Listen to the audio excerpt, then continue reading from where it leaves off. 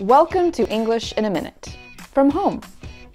When it's really hot outside, you want to find a place to stay cool.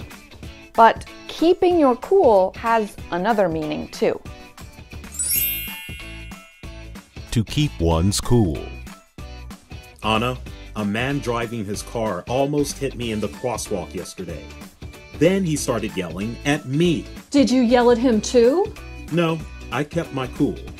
I calmly explained to him that I was not the one disobeying traffic rules. He was. To keep your cool means to stay calm and in control in a difficult situation. Keeping your cool is the opposite of losing your cool, when you might get angry and out of control.